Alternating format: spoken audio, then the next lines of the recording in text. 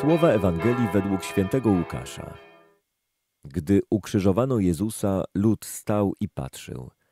Lecz członkowie Wysokiej Rady drwiąco mówili. Innych wybawiał, niechże teraz siebie wybawi, jeśli on jest Mesjaszem, wybrańcem Bożym. Szydzili z niego i żołnierze. Podchodzili do niego i podawali mu ocet, mówiąc – jeśli ty jesteś królem żydowskim, wybaw sam siebie. Był także nad nim napis w języku greckim, łacińskim i hebrajskim. To jest król żydowski. Jeden ze złoczyńców, których tam powieszono, urągał mu. Czy ty nie jesteś Mesjaszem? Wybaw więc siebie i nas. Lecz drugi, karcąc go, rzekł. Ty nawet Boga się nie boisz, chociaż tę samą karę ponosisz. My przecież sprawiedliwie odbieramy bowiem słuszną karę za nasze uczynki – ale on nic złego nie uczynił. I dodał, Jezu, wspomnij na mnie, gdy przyjdziesz do swego królestwa. Jezus mu odpowiedział, Zaprawdę powiadam ci, dziś ze mną będziesz w raju. Na uroczystość Chrystusa Króla Kościół podaje nam do czytania i refleksji fragment Ewangelii opowiadający o ukrzyżowaniu Jezusa.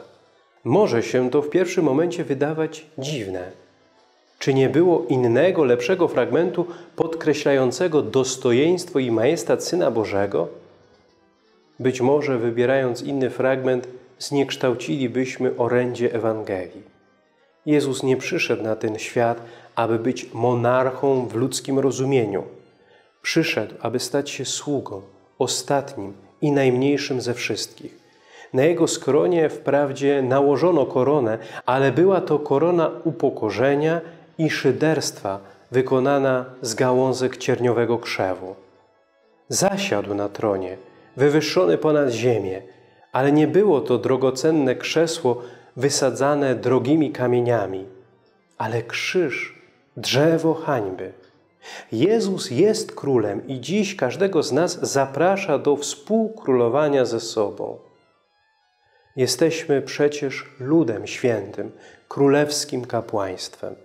Do naszej natury należy królować, ponieważ w naszych żyłach po każdej Komunii Świętej płynie Jego boska, królewska krew. Nigdy jednak nie zapominajmy, że królowanie w chrześcijańskim rozumieniu polega na panowaniu nad samym sobą i swoimi namiętnościami oraz na ofiarnej służbie na rzecz innych ludzi.